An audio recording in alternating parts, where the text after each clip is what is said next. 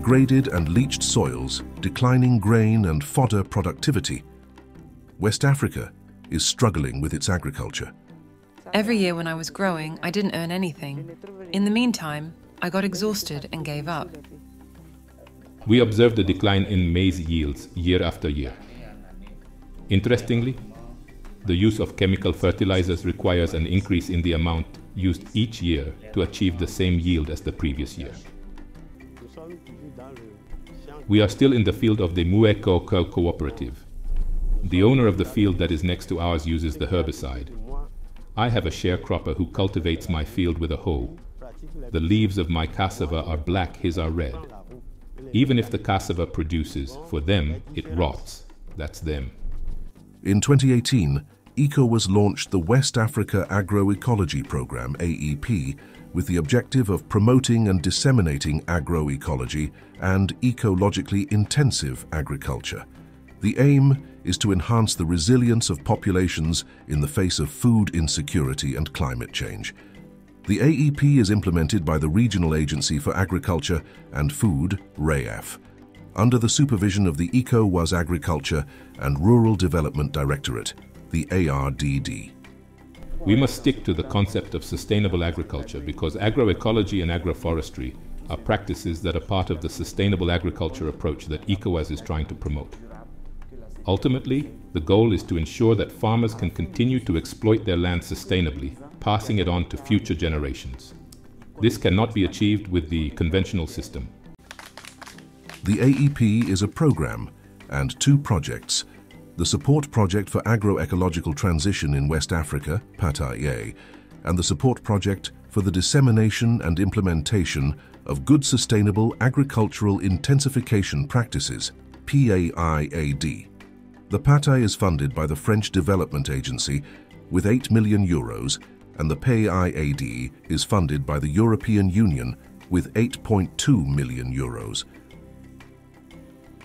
For me, it was a chance to see an organization like ECOWAS take on a subject that was rather initially carried by civil society, by producer organizations for years even before AFD. That we were fortunate to have a regional organization that had a regional policy already in place and on which it wanted to inflect a certain inflection in the choices that were initially proposed in this agricultural policy. That was initially rather focused on investments in agriculture. The program's relevance is fully demonstrated in the five AEP intervention countries, Burkina Faso, Cote d'Ivoire, Mali, Senegal and Togo. At my husband's house, they did not know that I could exploit this land and find food, but now they see that I am eating. This widow from northern Togo is the perfect illustration. When her husband died, she inherited a stony terrain from which she did not get much before the NGO Rafia taught her how to revive her land with compost. The NGO Rafia benefited from a grant of nearly 200 million FCFA from the PAE. Nearly 60 farmers' organizations, development associations, research and training centers have benefited from the same type of financial and technical support. In addition to producing various biofertilizers and biopesticides, project leaders also promote land management and seed production approaches. They contribute to the dissemination of fertilizing plants, such as mucuna, use radio to scale up agroecology initiatives, and promote the creation or revitalization of credit unions. Through these savings and credit groups, members have been able to obtain loans for income-generating activities, enabling them to support their families. Also to the credit of the AEP, the development of 7,000 ha of land for agroecological practices, and the production of more than 40,000 tons of compost, etc. 49,000 producers were also trained in agroecology techniques via relay trainers and 450 women equipped with nutrition education. To this, we must add the support of nearly 4,500 young people and women auto-entrepreneurs and the formulation of 190 projects and business plans for the benefit of women and young people. Another significant outcome of the EAP is the capitalization of experiences on good agroecology practices. These experiences, serve as advocacy tools for the integration of sustainable agriculture into national agricultural policies. We are in the process of developing technical sheets of good practices that can be used by the various farmers in the region.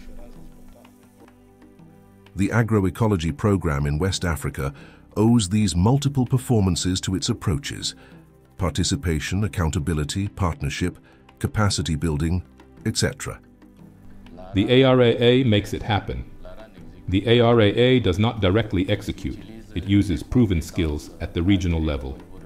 Generally, it is through calls for project proposals that we retain the innovative actions that we implement on the ground. In Burkina Faso, where insecurity is prevalent, the community-based approach promoted by ARAA has been successful in implementing and achieving positive outcomes for EAP activities. Despite the deteriorating security situation, we were able to carry out some activities and achieve good results. Although we had to modify our strategy for some activities as we progressed, the community approach involving local actors has enabled us to successfully implement this program. Now that the EAP has proven its effectiveness, it is time to move forward. We can take advantage of the knowledge of the different states to build a better agricultural future than we have today. There is a clear challenge in mobilizing more resources. The agroecological program, as currently designed, is too small to meet the challenges and ambitions we have on this subject. To address this, we need to mobilize more donors, Currently, we only have ERO2 donors, which is clearly insufficient. Therefore, we need to build a coalition of more significant actors. And all this in the context of essential food security, the credo of ECOWAS.